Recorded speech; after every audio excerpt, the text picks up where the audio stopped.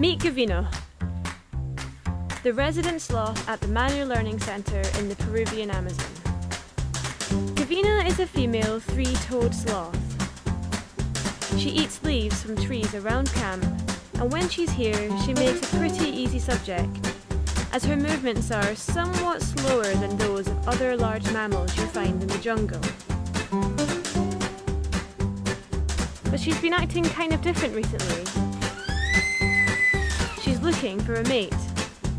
And after days of calling, she's having no luck here.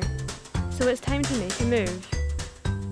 And maybe a new cecropia tree will give her a better vantage point of any male sloths who have heard her call and have come to find her.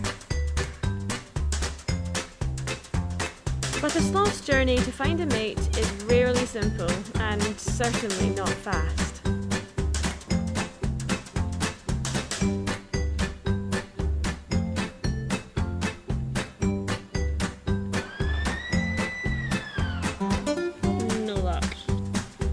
Moving.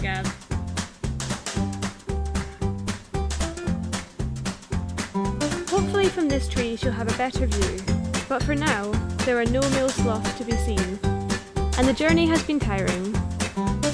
Perhaps she'll have better luck tomorrow.